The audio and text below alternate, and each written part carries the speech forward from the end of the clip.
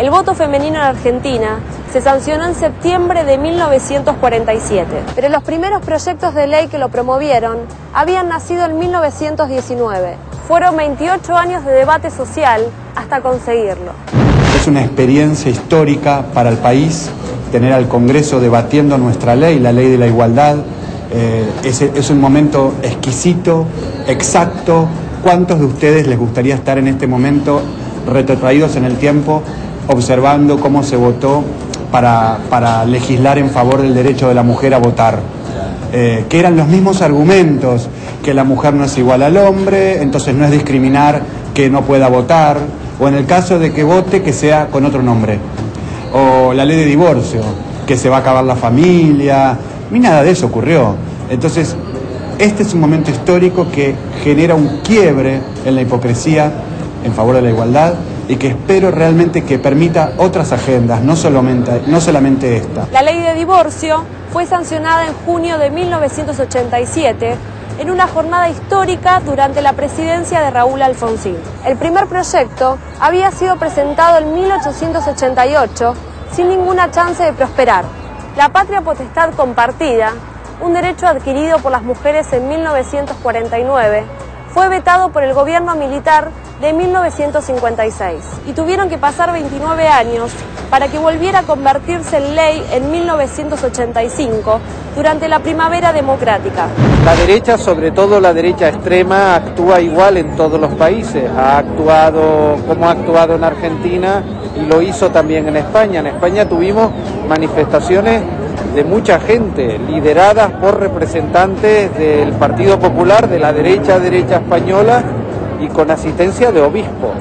Y quería recordar esto porque allí no solo salieron a la calle a manifestarse en contra del matrimonio entre personas del mismo sexo, sino en contra del divorcio, de la adopción, de la investigación con células madre, de la ley de reproducción asistida, de las campañas de prevención del VIH, de embarazos no deseados, de la educación para la ciudadanía que se tenga bien claro que quien se opone al matrimonio entre personas del mismo sexo, los grupos que representan esa oposición, se oponen a todo, a todo lo que significa avance y se oponen para seguir conservando sus privilegios.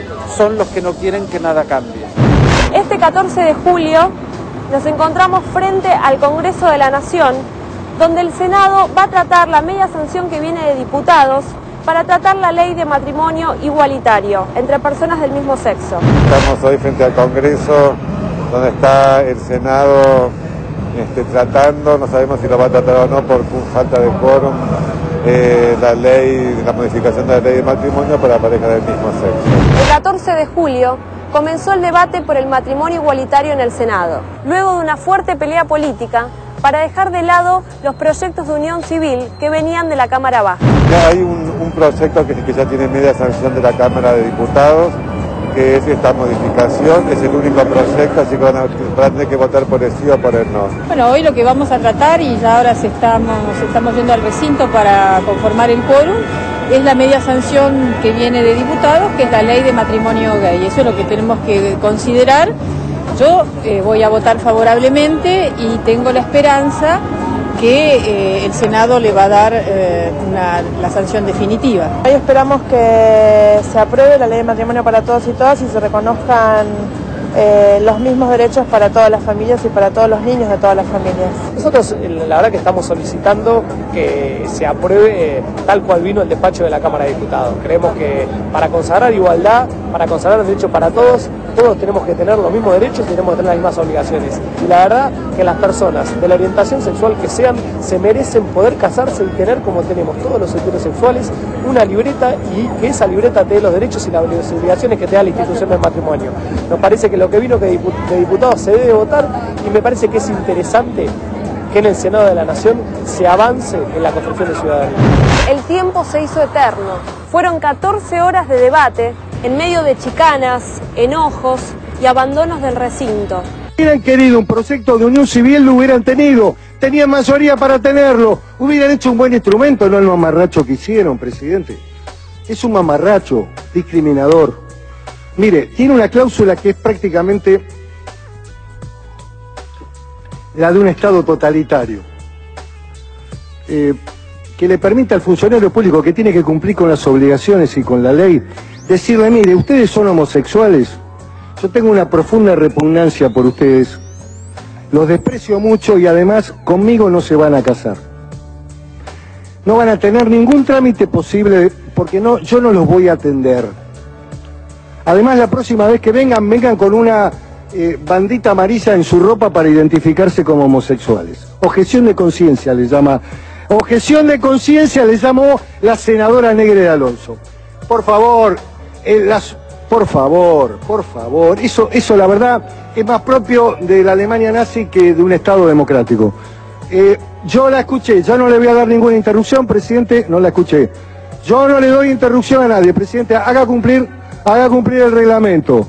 Yo sostengo que esa objeción de conciencia es propia de estados totalitarios. El funcionario público tiene que cumplir con la ley, presidente. Tiene que hacer cumplir la ley. No está. Si usted no pone orden, presidente, no puedo seguir. No, yo no le he dicho nada. Yo dije que la cláusula incorporada es propia de un Estado totalitario. Yo no le he dicho a usted nada.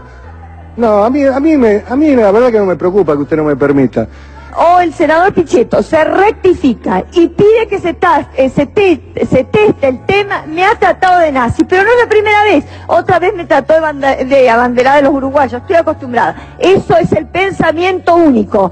Solo se acepta a los que piensan como él. Los que pensamos distintos somos discriminatorios. Hoy hablamos de igualdad, de libertad. Acá está el presidente del bloque mayoritario discriminándome. Mire, eh, yo no he hecho ningún agravio, me he limitado a dar lectura a declaraciones que han salido publicadas.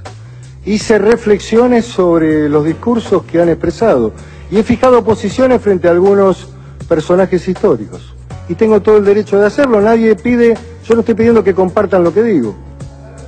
Finalmente, el proyecto de ley de matrimonio entre personas del mismo sexo fue aprobado con 33 votos a favor, 27 en contra, 3 abstenciones y 9 ausencias.